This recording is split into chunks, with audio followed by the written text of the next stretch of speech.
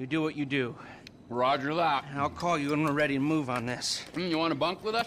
I mean, it's gonna be tight, but, you know, me casa, su casa. I, I'll get a motel, thanks. All right, suit yourself. Come on, I'll give you a ride.